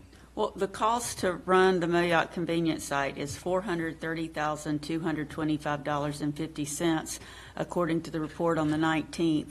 And then the cost estimate for just the Moyock Township to do curbside is $829,692. So that's two times the cost of the convenience site. Um, We're still going to maintain the convenience site, so now we're in for, I don't know, $1.3 million. Um, but that's not capturing the Yeah. four million that, or more that it's going to cost to get that expand. wastewater, or that waste site up to speed to handle the capacity. Well, I think, I think we need to have a proposal, put out a request for proposals on re-engineering that site so we know what we're dealing with dollar-wise. We have a motion here for Yep. So we have a motion. I will amend So we're Kevin- discussing, but, uh, The amendment to Kevin's motion that we do RFPs and see what it actually would cost to expand that convenience site. can I amend my motion to add that? Because we did talk about that after I said the initial. I guess we can. So, so, so. Mr. Chairman, I would suggest that we either vote to kill it, or then we can entertain another motion, which is a completely different course of Well, action. that, yeah, that would probably be better, I'm that would be fine. cleaner. All right, so we have a motion to deny, a second on the floor. Any further discussion from the board? So all those in favor of, of not doing this, aye. Uh, aye. Any opposed? Yay. Nay. Hey, All right, that's four to three, so that one's dead. All right, so, but you would like to suggest that the county staff go out and look at what the cost would be relative to re- redoing this site To be nowadays? fair, Have to, because we voted we're not going to do trash. No, no, uh, this is a separate direction just for the staff to go in. now we do, do RFPs and see, and then come back to this if we have to, Okay. and do a comparative cost analysis. So would you like a design? I'm afraid we won't be able to get an accurate uh, cost estimate without a design. Well, Rebecca, if, if, if you ask somebody to do, or if we put an RFP out there for design, isn't the expectations of something to be awarded? Yes. If, if we, we'd go out for a request for qualifications for an engineering firm. Yeah, so if we're just doing it to get some information for our benefit, Well, they would. I- I they don't would think be that's able- right to do that. They they would go to, they would go to a full design, so that we could then get estimates of what it would cost to expand the facility. Because you're talking about, what, fence, asphalting it? Like concrete. The original three Fence, million dollar concrete. design, I believe, was Decorative similar to the concept that uh, Chairman White spoke about, where you would drive up to. sort Full-blown of the- design. Yes. Correct. Yeah, What- yeah, up really, to re- the make edge it, and then make it really flow and work better than let's just drive around and find out which bin's open, right? And hope it's open. So, um, it's not really a motion, but I guess it's just a dir- uh, direction for staff to go Well- into at this point. And, Mr. Chairman, if curbside is off the table right now, I think from county staff, we need to know what the next step, acknowledging the fact that, you know, we're going to need $4 million worth of improvements, what that's going to look like, and, you know, start looking in that direction. So, I mean, I, I don't know that we could get a rough order of magnitude, but part of, remember, stormwater retention, you know, all. Yeah, you got all that. All that stuff gets to come into this because of what we're, what we're Yeah. intending to do. And, you know, and I would suggest, once we know that cost, we might see a This might be a different. better option. But the other thing is too, like I said, it's not just, I mean, I know we're talking tonight, just the Moyock, the Grandy site. I mean, it's like a hangout. That place is popular too. It's super busy on the Uh, weekends it's as jumping, well. Yeah. We'll say, if, uh, if we move forward with renovating the existing site, that cost would be shared over the entire, entire Right. solid waste fund. Because it goes into the fee schedule, right? Yeah. Yes. But I can stop in Moyock anytime I want to and drop off. I can go to any center I want to the county. So if I'm driving up to Virginia or hanging out, I can swing in there and drop stuff off. Oh, but So- you want me to pay for that down on the south end of the county while the north end of the county. As county. long as they gets can it. come down and use mine, I don't care if they use theirs. Happens anyways, if you got the trash curbside. All right, pickup. all right. Well, we're getting pretty far afield here. So, um, it sounds like we uh, we got to have more discussion on this outside of this meeting tonight. More probably for Well, I think obviously we're going to proceed forward with Panther Landing and planning Yeah. for its expansion. So we, we Yep. we will take the board's direction tonight and Okay. move forward on uh, working toward that and bringing you back some numbers of what the cost will be. perfect. Thank you.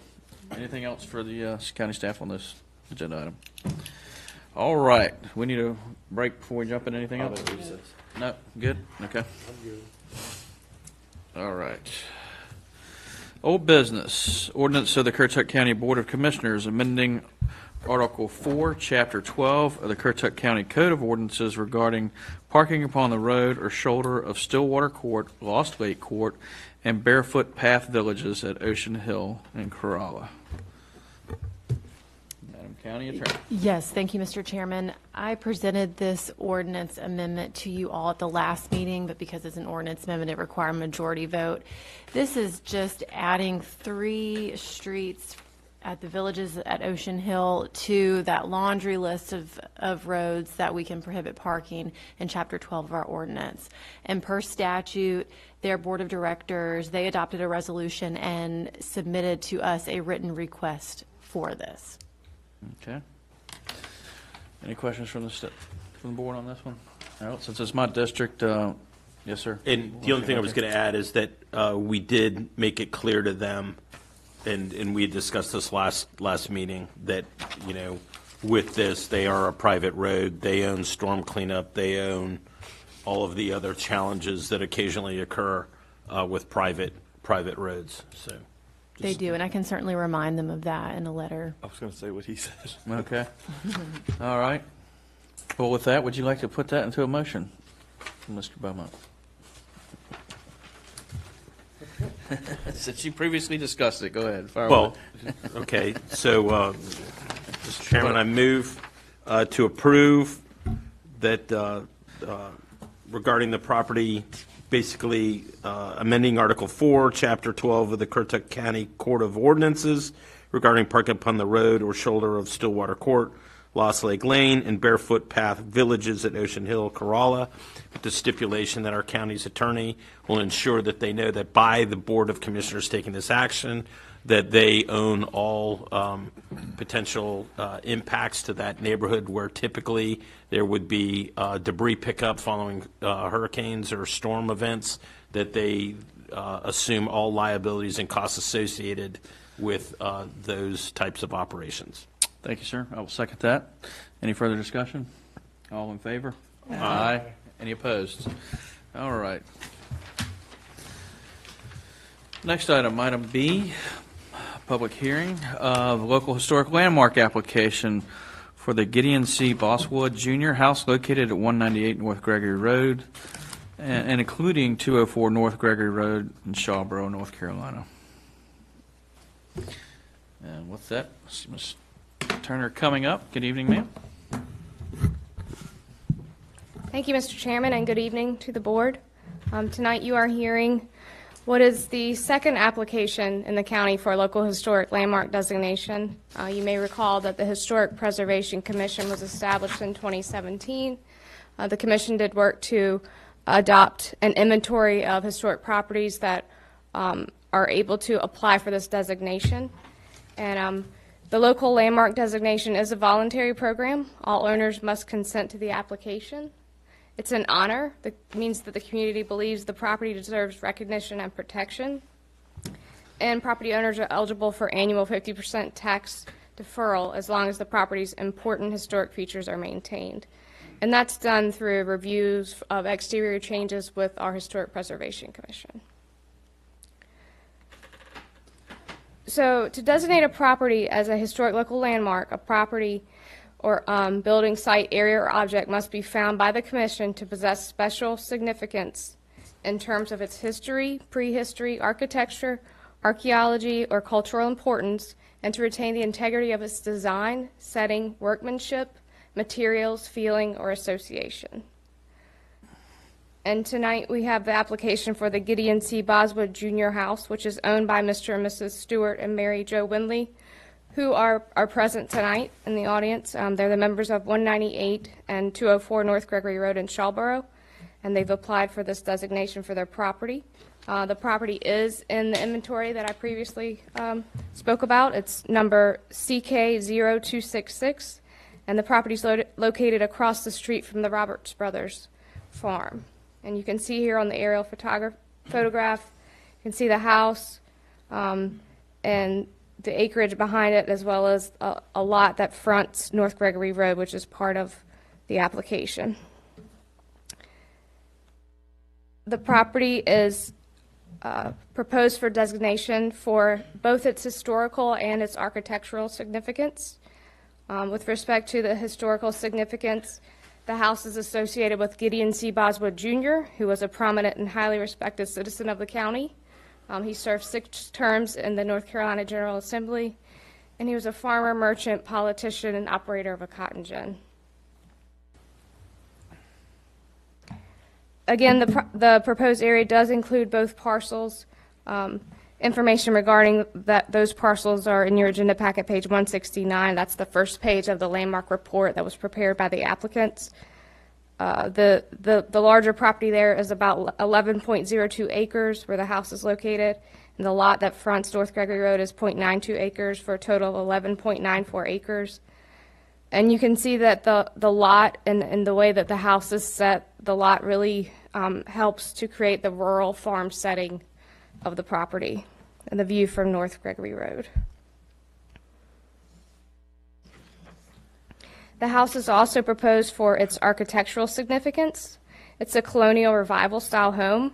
Uh, the colonial revival style drew on the complete historical spectrum of European and colonial American housing styles and dominated domestic building during the 20s and 30s, 1920s and 1930s.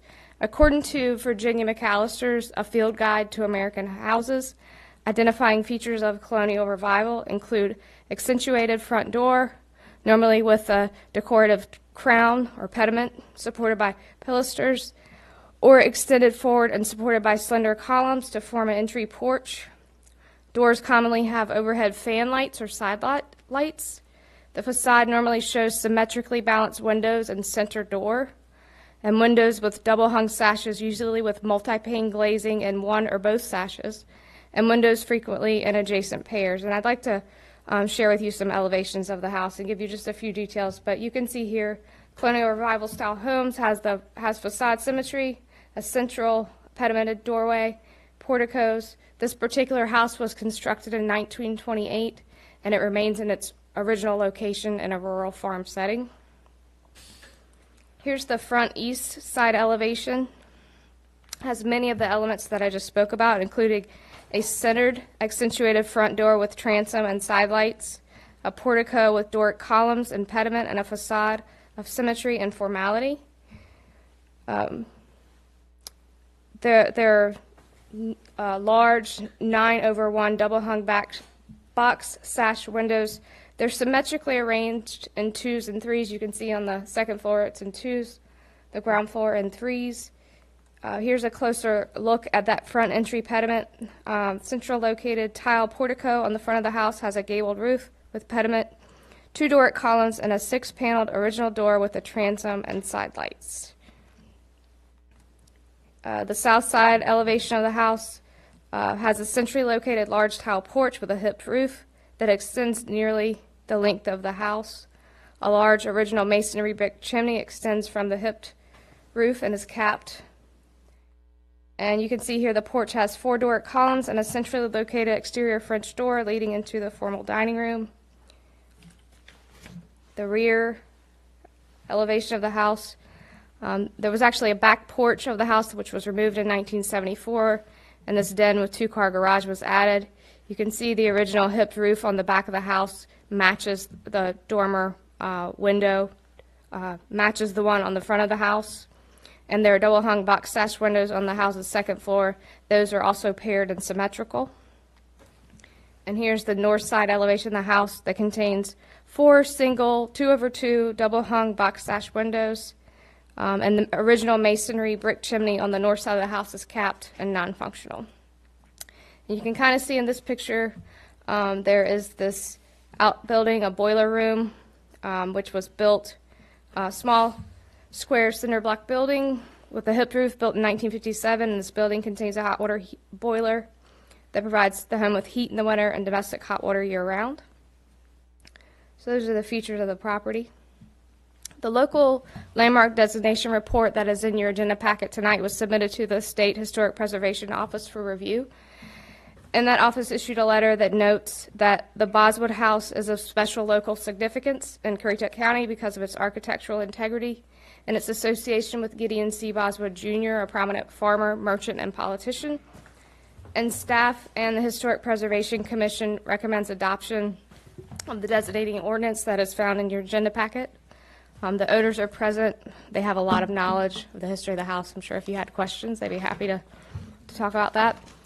And just one more thing, because I told the Historic Preservation Commission at the last meeting, I would mention that we did um, hold a tour of historic homes in Shawboro in October on the 15th, and it was well attended. It was a great event, and uh, look look out for potentially more tours in the future.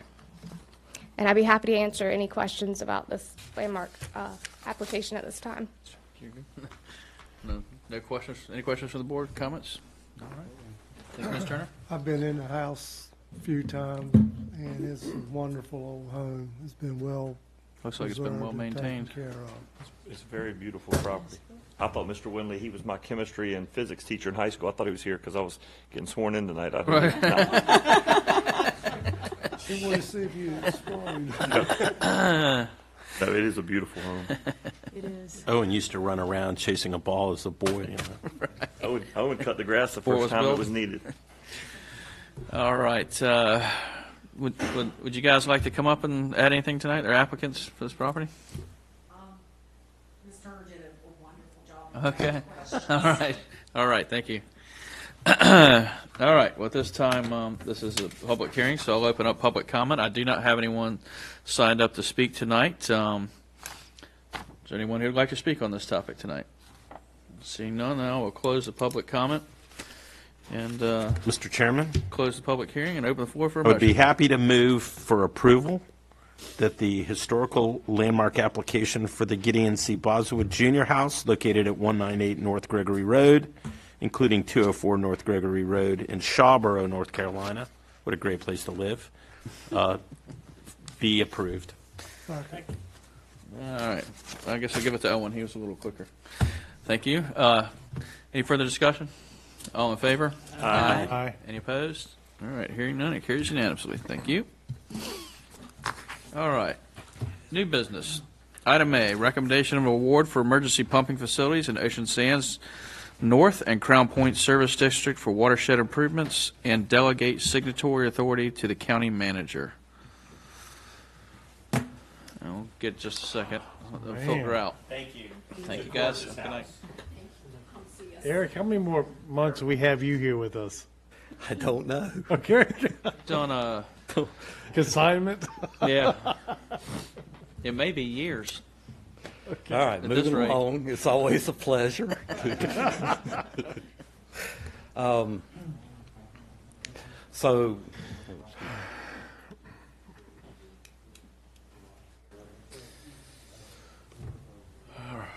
All right, they're out of here. Ready? Yes, sir. Lay it on us. All right, so Ocean Sands. Um, wanted to start off by saying that pumping of flooding from stormwater is regulated by the North Carolina Division of Water Resources. So anything we do is under their direction and guidance. Uh, they only allow us to pump stormwater to the ocean in a major storm event and when it meets specific criteria. Ocean Sands is one of those communities Hey, that Ike, can you shut the door or something? Let me know. So tell them to Can't shut move the down door. there. Well, we can't shut, the well. Yeah, just tell them to move on. Just tell them to move on. Can we shut the door? Okay. Oh, never mind. Shut the door. Thank you. All right. Ocean Sands is one of those communities that we've had to pump in quite often, in most hurricanes is to be expected. So, um, the pumping in the past has been, we rent pumps, and we have to rent the hoses. Um, very labor intensive and time consuming. Uh, when we do set up the pumps, we typically have to enlist the help of the fire department where we have lay flat hose. Uh, you have to lay it out from the point where it's being flooded all the way to the ocean. Um, sometimes that's as much as a, a thousand feet per site. Um, it could take the fire department all day long. Um, and um, so with this project, this project would install permanent pipe that would be buried underground from the major points in ocean sands that get flooding. Uh, we bid out three sites to install permanent pipe, uh, one in Crown Point, one on the lake, and one in Section F. And those are our worst areas. Uh, this is 12-inch pipe that'll be buried. Um, It'll extend, we'll have a drop inlet where it floods, and then it'll have a pipe that'll extend all the way to the dune.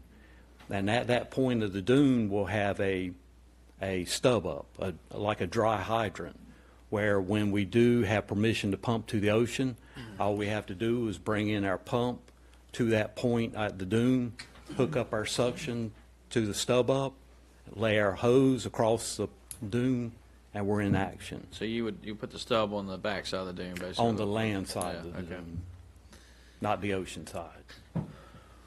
And so um, with this, we, um, we bid a project. um, We bid the project on November 22nd of 2022.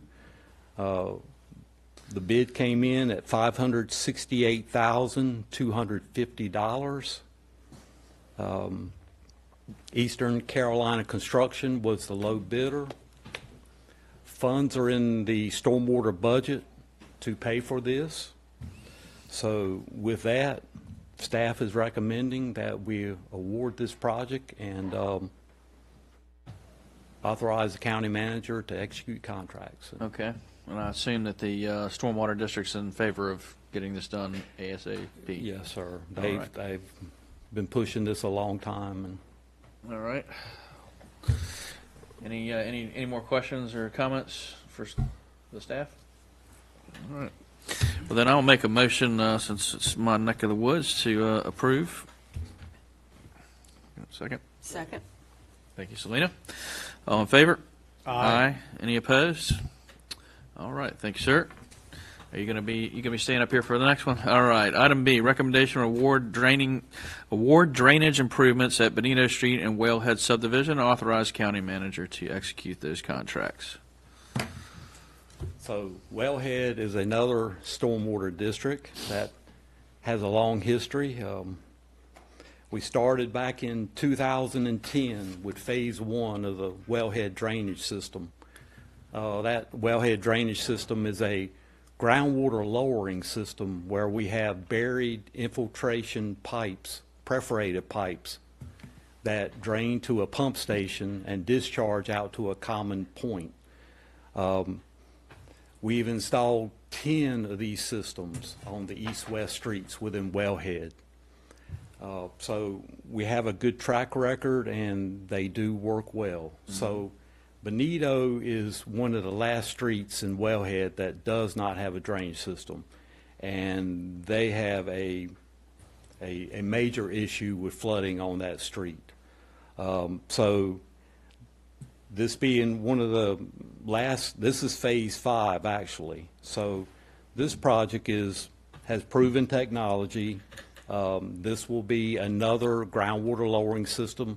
Uh, We'll install it along the, uh, the road shoulder of that Benito Street, the drainage system, the infiltration pipe. It'll go to a pump station that we'll construct and tie into the common header to the discharge. So everything's laid out, ready to go, uh, planned in the master plan, so, uh, so we designed it, we bid it on, the project was bid for Benito on, um,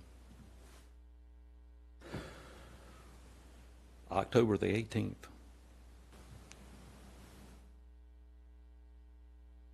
Um, the low bidder was Envirotech.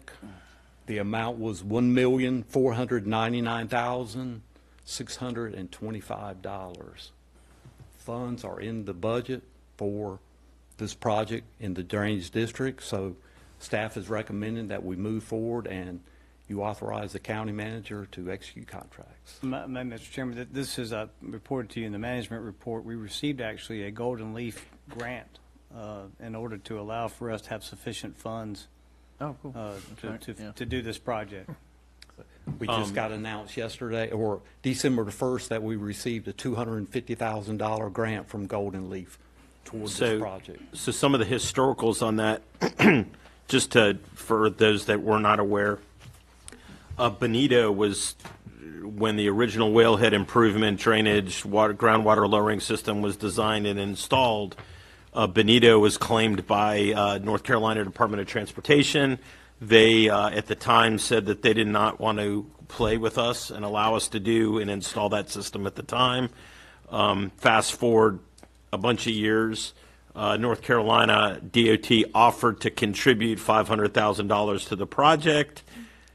Then the MAP Act and the impact of the MAP Act uh, occurred, which was which cost uh, North Carolina DOT 1.3 billion with a B, um, and through poor business decisions and management in areas that were not part of Division One. So at no fault of ours, but the loss incurred by DOT cost basically us $500,000 associated with this project. Eric, I thought, wasn't there an a, uh, outflow uh, pipe increase also part of this upgrade? That was a previous project you may be speaking about. Um, Well, I we- know, I know did- Whalehead was talking about the two kind of at the same time. Has that already been done? Sailfish, we updated Okay, so that was the one on Sailfish, got that. And then the other thing, if I remember correctly, this is going to result in, an- in a significantly wider sidewalk on Benito. Yes, sir. Which is one of the major Yeah. thoroughfares from Monterey Shores to get oceanfront. So that, that's a good thing. We'll And- upgrade that little existing four-foot sidewalk to an eight-foot sidewalk. if you're lucky at four.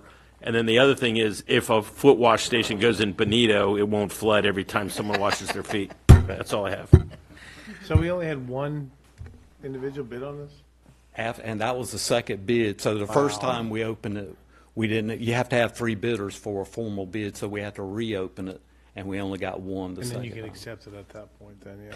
But Wow. um, Okay. it's, it's kind of the way the economy is these days, it seems like. But fast forward, what Commissioner Beaumont was saying about the DOT situation. So that was about two years ago when we thought we had a grant from them, which got taken away from us, we felt like.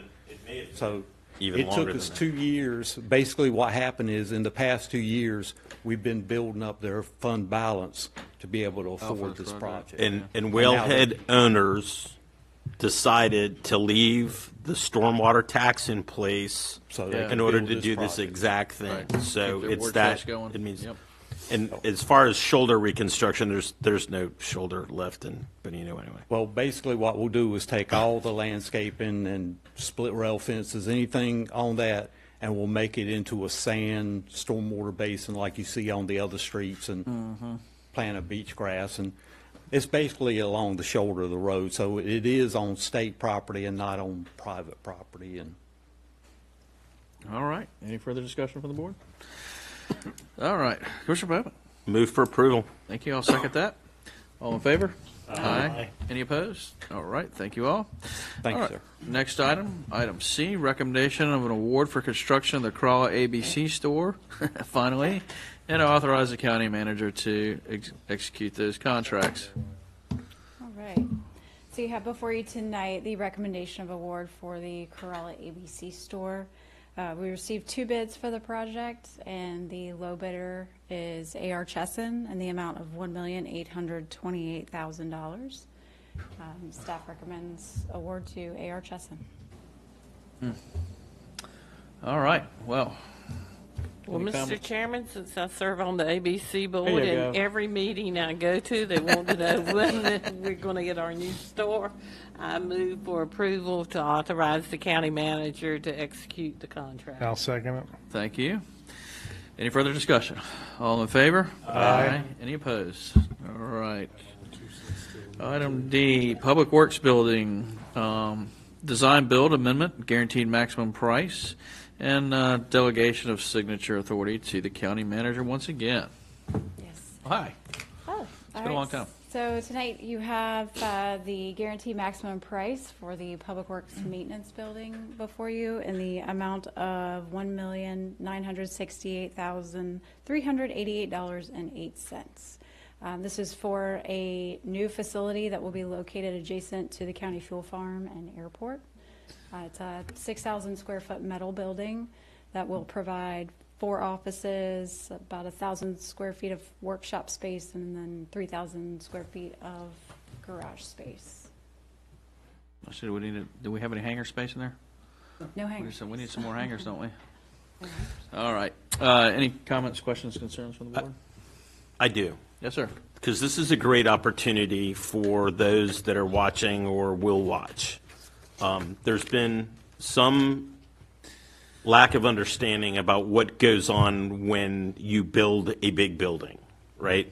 Um, a lot of folks uh, think, you know, basically as soon as the contract's done, we're going to get out there, cut down trees if there's trees, but we're really going to start excavating and and within the next week max, we ought to start seeing buildings going up. Can you briefly, and, and, and this is a fairly simple structure compared to something like, oh, let's say a, an elementary school that has like, you know, core capacity of 940 students. Can you, can you just go down, it takes this long to a, des- you know, for design, this long for engineering. It, just give us a rough timeline because, you know, it, none of this is quick and it's all extremely deliberate. And, you know, when we design and we plan for things well, they come out well. And so if you could just kind of give us an overview of the whole process. Sure. So uh, we went out for qualifications for a design builder for the project. Typically, that process from writing the RFQ to selecting a design build team is, I'd say, about five to six months. Uh, Beyond that, we have uh, award of the project, which comes to the board. We enter into an agreement, uh, process that agreement, and then the team goes into design, which can take anywhere from six months to a year, depending on, on the size of the building. In this case, I think we entered into the agreement in April. So the budget that's presented to you tonight is based on a, a hard bid that was completed at 75% design.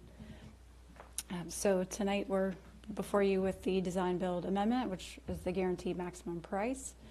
And then moving forward, once we get that portion of the, the contract signed, uh, we'll let- obviously let the, the team know that we're ready to get underway. I believe they'll mobilize at the end of January, and I think we're looking at completion in early 2024.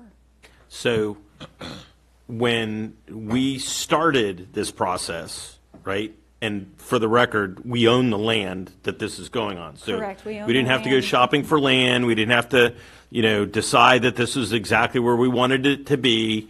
You know, we own the land. So from the time we closed on the land till the expecting, clo- you know, opening of the facility, how long? Ballpark? For For this, like two years, right? No. Mm-hmm. For this particular project? Right. Well, we, I, I mean, it's, we didn't have to purchase any property, so, uh, yeah, I mean, probably from start to finish, yes, that's, two years is probably accurate. Right. So, two years for a fairly simple building on land that we already owned. And we're, we're very familiar with what its drainage challenges and all that kind of stuff. Okay. Yes. That's all I had. Yeah. Thank you. Sure. Well, it's over in your dirt. Would you? I would so move for approval. Do we have a second? Second. Thank you. Any further discussion? All in favor? Aye. Aye. Any opposed? All right, thank you all. Uh, Item E, consideration of a license agreement allowing use of county-owned property by the Carova Beach Volunteer Fire and Rescue for parking and boat mooring. Yes, so I believe the Carova Beach Volunteer Fire Department chief approached the county manager about their need to use the land that we own across the street from their building for parking and a boat mooring area. So I drafted this license agreement that allows them to do that just for that purpose. Um, subject to your approval, and they, there's different provisions in here that favor us in that if they want to do anything to the property, they have to get permission. Um, If they need to get any permits, that's on them. Um, They have to do that, and, and anything that's involved with that. We can terminate this agreement as long as we give 60 days written notice if we believe that, if we need that for anything else um, or if they breach the agreement within 30 days. Um, So those are some major terms. Um, So it's, it's up to you whether you would like to grant this, them this license. Um, It is for a, a vehicle parking area, a boat mooring area, the property across from their building. Most, of- all of y'all have been up there. Th- They've been using this lot for years. They help keep it clean. The- Way back, that was, there was a bunch of junk cars and crap out there. Yeah, and, uh, yeah. So they've been, they've been at it for a while. They basically, they want to go in and fix the fence, the split rail fence up there and repair that, um, and keep the area up. And, and when they do events and stuff, it applies, allows for extra parking for them. So that was the reason for bringing this forward. What's, what's the boat mooring? On the, it's on the canal. So they can, I mean, what boats do they plan to moor there, I guess don't is my know. question. They, they They have made boats? They some have a boat. indication they're going to, if they don't already have it. I they're think they going- have a boat. They have a boat. Yeah, They have, a- I guess, a a boat they use in rescue Guys operations. would probably catch I've out actually there. parked the, sh- I've pulled the sheriff's office. Well, I boats up just, to it I just before. want to make sure it's not a, a mooring for fun or a mooring of convenience, that it's, I, I, uh, this should only be for, f- for fire use, right? That was going to be my question. Is, is Right. can anybody, will No, anybody it- else it- pull up it's- there? No, it's, or- on- it's only for the fire department and its official use. Yeah. And, and like you said, I mean, they may have some guys that are volunteers at Carova that live on Knott's Island, and, I mean, if they came over to assist with something, that would So if Kevin and the sheriff's department pulls up, we can find them then, if it's just for the fire department. I'm just Kevin, I'm just. Yeah, that's fine. I- Kevin, I'm, I'd be really concerned about opening that door. Which, door about About people that would respond to an event from Knott's Island, would get in a boat and, and use that as, uh, probably didn't happen, but. well, my concern is, oh, well, I was coming over to help. Right. I, I just don't want to see it, I, I mean, I get it. See it abused. But it, what you're Don't saying. bring- but it, that opens the door for been abuse. going on all along. It's not, there's nothing new don't bring the happening. beer cooler over. Right, right. Just don't bring the beer. So it's been going on all along. We're just putting it into Okay. writing now, okay. basically. I So, thought they owned it anyway. right, right. All right. So, any further discussion on this? Uh, seeing none, then I will uh, make a motion to uh, approve. Second. Thank you. Any further discussion? All in favor? Aye. Any opposed? All right. Item F, consent agenda. Any comments, questions, or concerns? Move Move. for approval. Second. Thank you. All signify by saying aye. Aye. Any opposed? All right, can I have a motion to adjourn, please? So moved. Second. Third. Third. Paul? Kitty, Kitty and Paul. Uh, all in favor? Aye. Aye. All right, thank you all.